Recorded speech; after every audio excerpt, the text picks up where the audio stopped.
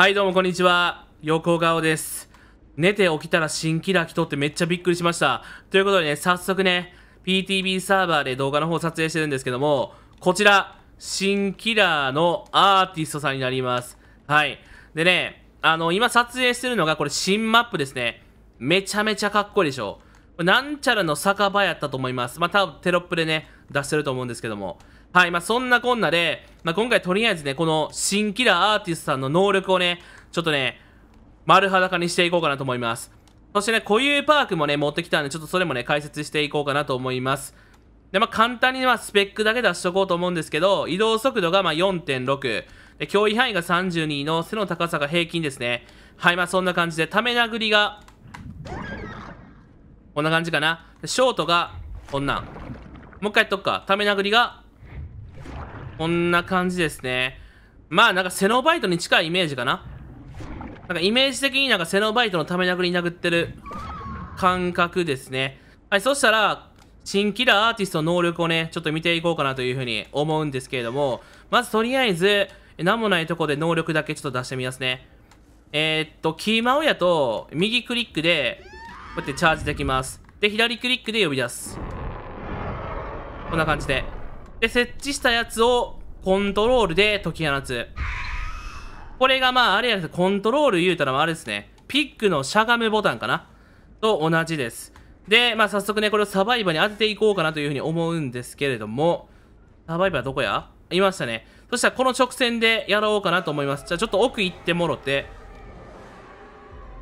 はい。そしたら早速ね、このカラスを当てていこうかなと思うんですけど、チャージして、まずは設置しますと。で、解き放つ。で、これ、この距離感で当てると、ああいう風にカラスがまといます。はい。で、このカラスがまとってる状態にもう一度、スキルを当てると、負傷を負います。で、多分次でダウンするかな。で、多分この距離やと、多分距離長すぎるんで多分ダウンしないんですけど、多分このぐらいの距離感やと多分ダウンします。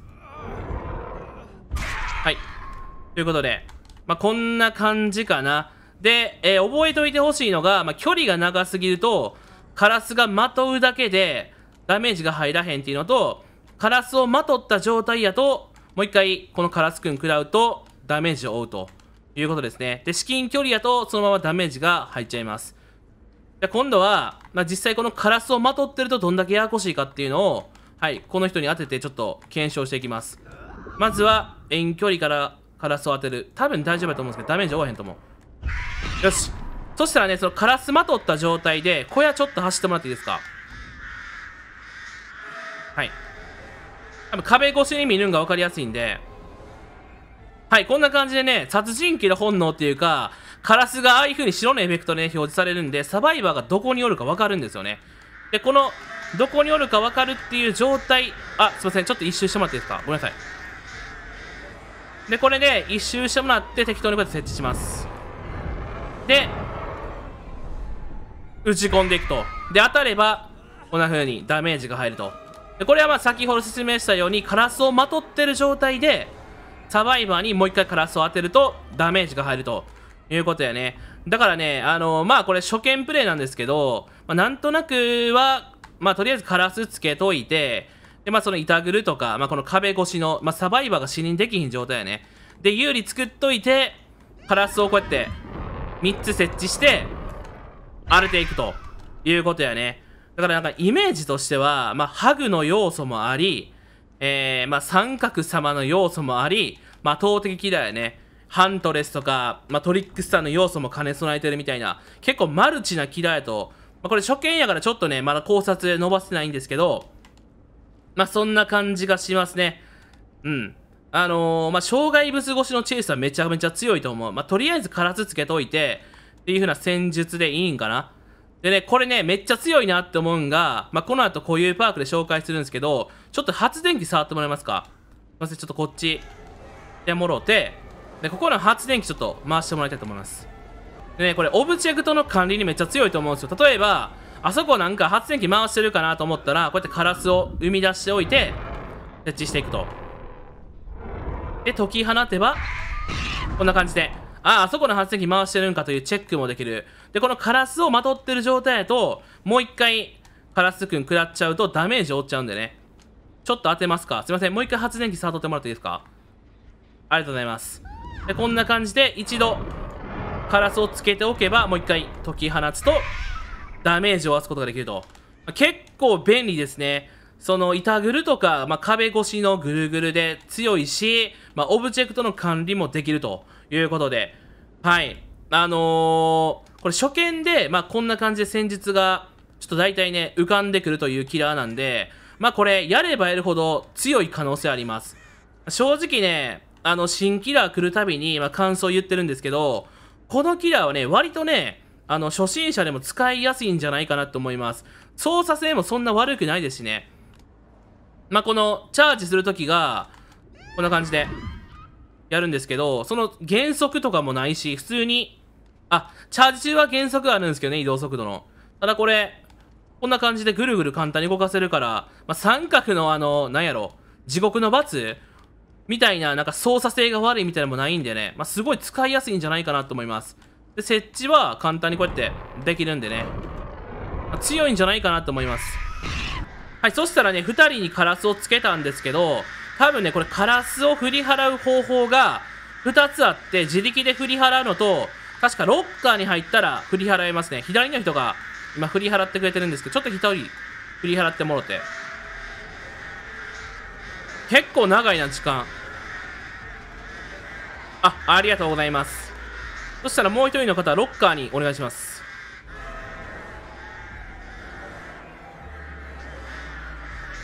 ロッカーに入ってもろて。ロッカーに入ると速攻で、カラスが振り払えるっぽいね。だから自力でもがくよりロッカー入る方が早いんかなはい、そしたら、サバイバー視点なかったんで、ちょっとね、サバイバー視点で、えー、動画の方撮ってるんですけど、これが、カラスをつけられた状態ですね。で、走りながらでも、こうやって、撃退することができます。まあ、イメージとしては、ビクトルをくっつけられた時のイメージかな。まあ、こんな感じで撃退することができて、ちょっとロッカー入ってみましょうか。で、ロッカーに入ると、一発でカラスを解くことができる。という仕様になっております。でね、ちょっとね、先ほど能力のところでちょっとね、1点補足するの忘れとったんで、ちょっとね、補足したいと思うんですけど、このカラス、ちょっとつけますね。カラスをつけて、で、あの、カラスをまとってる状態で、こうやって設置したカラスに、ちょっと当たってみてください、このカラスに。当たると、はい、これ負傷を負います。なので、ちょっとね、これ気づきにくいところなんですけど、ここは絶対押さえておいた方がいいですね。例えばやけど、この人にカラスを設置させます。設置させます。で、こういう窓枠とかにこうやって置いておく。はい。そしたらこの窓枠飛んでもらっていいですか？と、こういう風になるのでね、あのー、板ぐるとか、まあ、すごいなんかイメージしやすいと思うんですけど、カラスをつけてる人に対して、その、ここ行かれたくないなってとことかに、こうやってカラスをね、こうやってポンって置いておくと、カラスをまとってる状態と生存者はね、そこ通ると、負傷またはダウンしちゃうんでね、はい。板ぐるとか、まあ、窓枠で有利取れるかなっていう風なことが、できるんちゃうかなと、まあ、思うんですけども、まあ、簡単に、まあ、そうやってうまくいくかどうか分からへんけどね。まあでもね、能力はね、かなり使いやすいと個人的には思います。まあ、そんなもんかな。まあ、実戦でちょっと使ってみんと何とも言えへんっていうところがあるんですけど、まあ、パッと見、まあ、使いやすいキラーなんじゃないかなって個人的には、まあ、現段階で思ってますね。だからこの板ぐるとかやったらね、こうやって、行かれたくないというか、まあ、サバの進行方向にこうやって設置しといて、で、あとはその、こんな感じで、通るところに、なんかボンバーみたいな、これ。でやると、もうサバイバーね、この周りぐるぐるするときにね、かなり行動制限できると思うんですよね。みたいな感じかな。はい。僕はこのキラーちょっと強いんじゃないかなっていうふうに個人的には思ってます。はい。まあ、能力はそんな感じかな。はい。はい、そしたらちょっと1点だけ、ちょっと言うの忘れとったんで、はい、これとんでもないことちょっとね、皆さんにちょっとお伝えしとこうと思うんですけど、まあ、実用性があるかどうかはちょっとあれなんですけど、まあ、間違いなく、サバイバーの強になることは、これはね、間違いないと思うんですけど、はい、今ね、めっちゃ奥、あそこ見えるかな？奥でね、カラスが多分泣いてると思うんですけど、これサバイバーカラスをまとった状態ですね。で、この、新キラーアーティストの能力なんですけど、これ多分無限です。いきますよ。あそこにおるでしょ。で、あそこめがけて、こうやってカラスを作って、打ち込むと、いきます。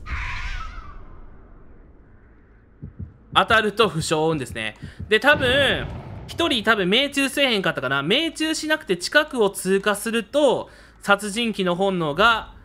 はい、発動するということで、こうやってね、オブジェクトに対して適当にこうやって、カラス打ち込むことで、そこにサバイバーがおるかどうかっていうのをね、こうやって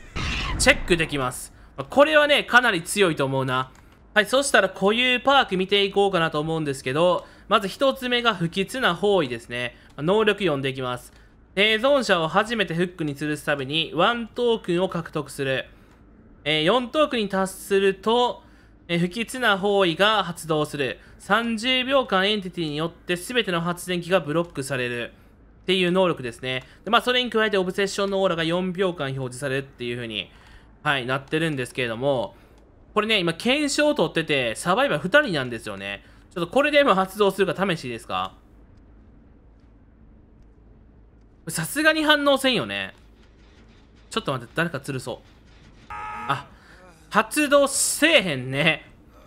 はい、ということで、ちょっとね、検証する人がいなかったんで、まあ、今回ちょっと発動できないんですけど、これね、あのー、サバイバーをすべてね、あの、1回ずつ釣ると、あのー、発電機をね、え30秒間、まあ、全ての発電機を30秒間ブロックするっていう効果なんですね。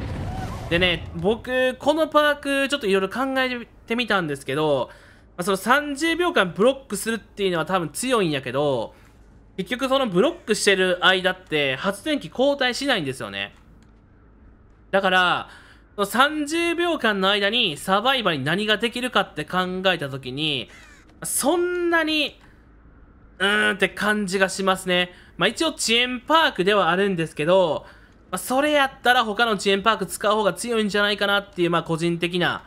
感想です。はい。もしね、このパークの有効的な使い方、ね、知ってるよって方いたらね、ちょっとコメント欄で教えてください。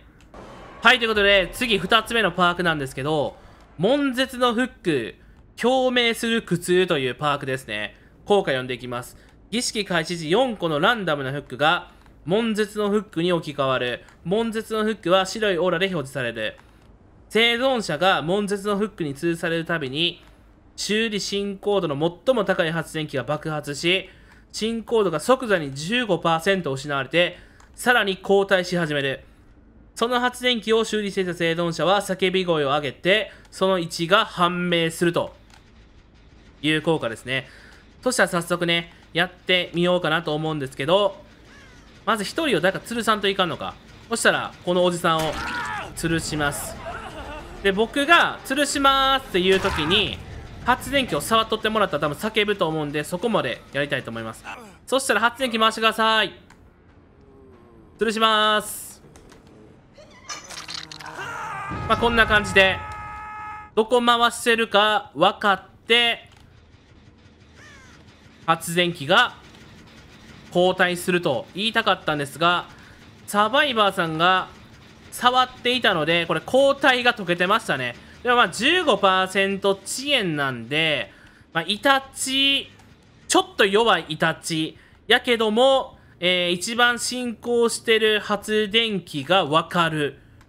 から、うん、まあ、どうなんすかね。まあ、その、叫んで、まあ、多分まず触ると思うから、まあ、イタチを蹴り込む猶予が、まあ、イタチとは相性いいんかな。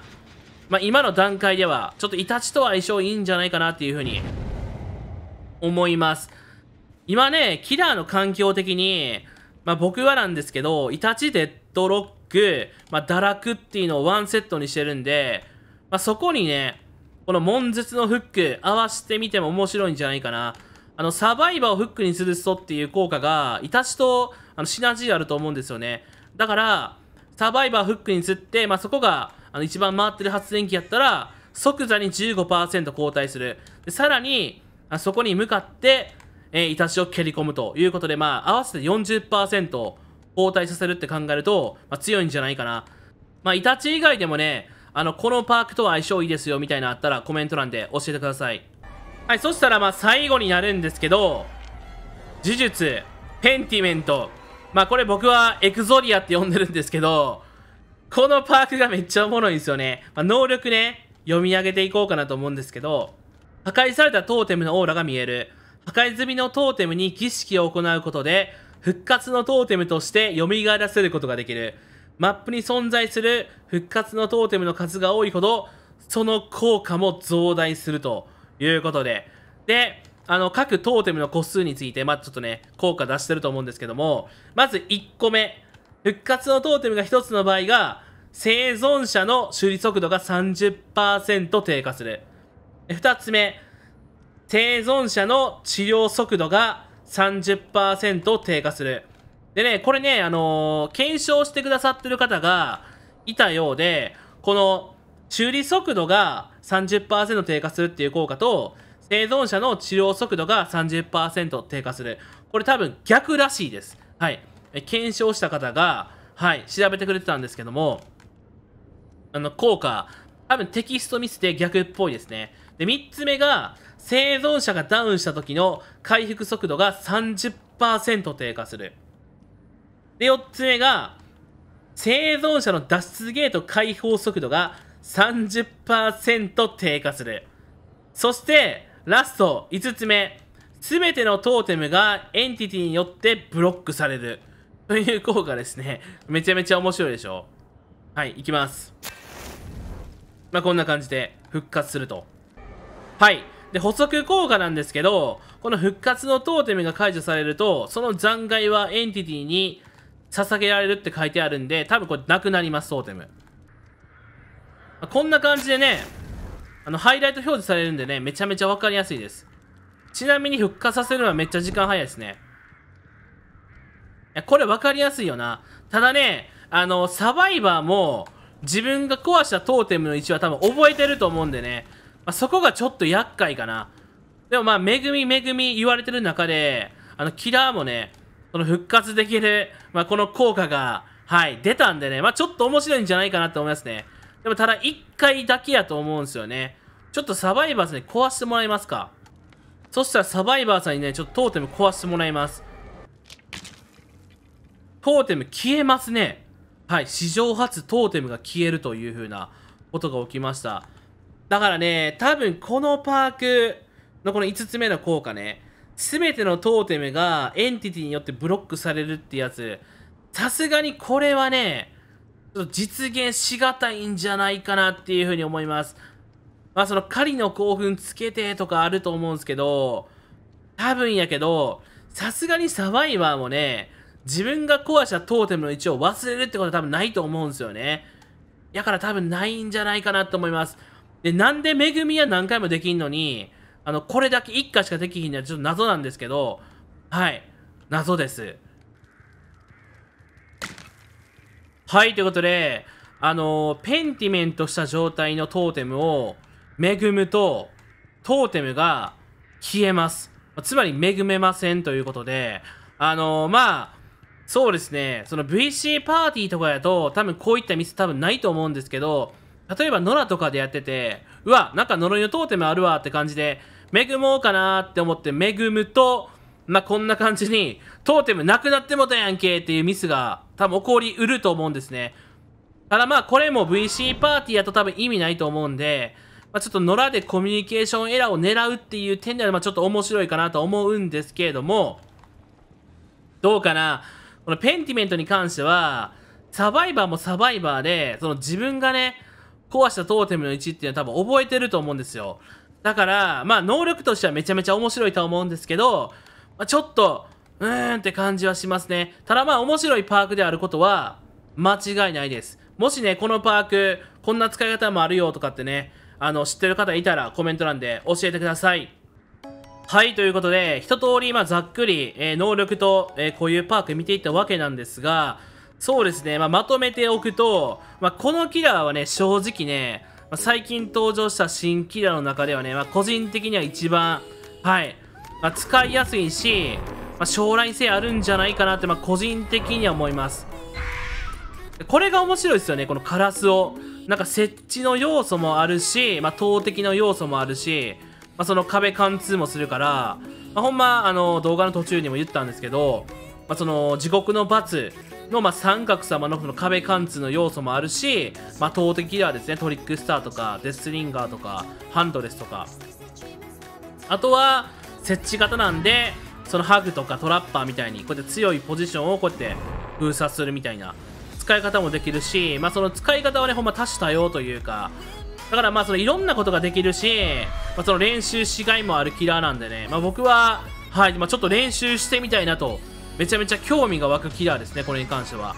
僕はこれめちゃめちゃ嬉しいですね、まあ、ちょっとね最近そのゲームバランス調整とかで、まあ、そのキラーのモチベーションが下がったとかっていうね、まあ、意見本当に多いんですけどまあなんか久しぶりに面白いキラー登場したかなって、まあ、個人的には思うんでね。はい練習してみましょう皆さん一緒にね。はい。